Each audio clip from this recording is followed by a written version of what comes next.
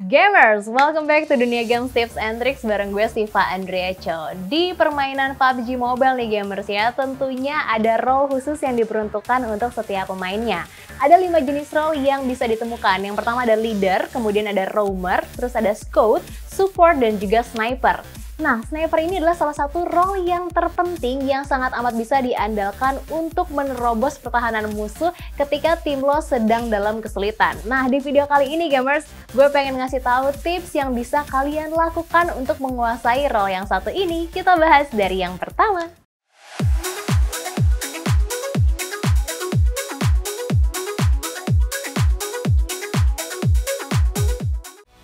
Yang pertama, pilih senjata dan attachment yang tepat. Sebagai seorang sniper, lo bisa gunain senjata AWM sebagai bolt action rifle andalan dengan suppressor dan juga chick pad extended quick draw mag dan juga X8 scope sebagai attachmentnya. Karena AWM merupakan senjata one shot one kill yang bisa ngelumpuhin musuh walaupun memakai helm level 3. Tapi seorang sniper nggak cukup berbekal sniper rifle aja, tapi harus juga memiliki secondary weapon untuk bertempur jarak dekat hingga menengah. Contohnya senjata auto seperti M416. Yang kedua, incar bagian kepala. Sebagai seorang sniper, lo pasti bakal mencoba untuk ngelumpuhin lawan secepat-cepatnya karena hal ini lo butuhin ketika lo dan tim sedang dalam situasi yang urgent. Hal ini membutuhkan aim yang akurat karena lo harus ngincer kepala musuh buat numbangin mereka dengan cepat. Tentu aja, buat bikin aim yang akurat, lo harus banyak belajar dan juga berlatih.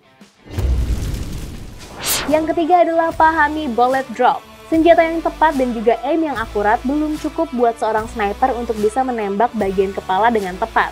Karena lo harus menembak dari jarak yang cukup jauh sebagai seorang sniper. Lo butuh yang namanya kemampuan buat menganalisa bullet drop agar dapat memprediksi di mana peluru akan mendarat.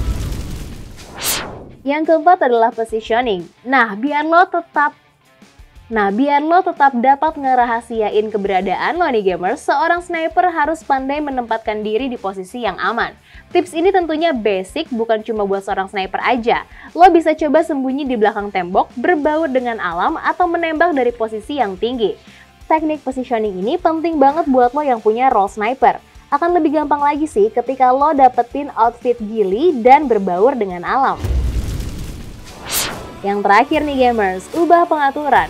Last but not least, sebelum menggunakan sniper, ada baiknya pemain mengaktifkan beberapa mode yang ada di pengaturan dasar, seperti mode bidik dan tembak serta miring dan buka teropong bidik. Pada mode memiringkan badan, pemain juga bisa memilih mode tahan loh, Meski terlihat sepele dan kadang diabaikan, tapi cara ini dijamin dapat mempengaruhi kualitas tembakan. Lo juga nih gamers bisa ngubah pengaturan kontrol senyaman mungkin.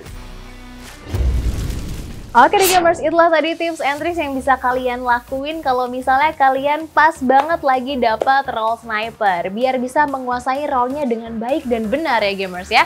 Dan jangan lupa kalau misalnya kalian pengen tambahin, boleh banget komen aja di kolom komentar. Dan untuk like dan juga subscribe akun YouTube kita. Dan follow TikToknya di dunia games.id. Sampai ketemu lagi di video-video selanjutnya. And then bye-bye gamers!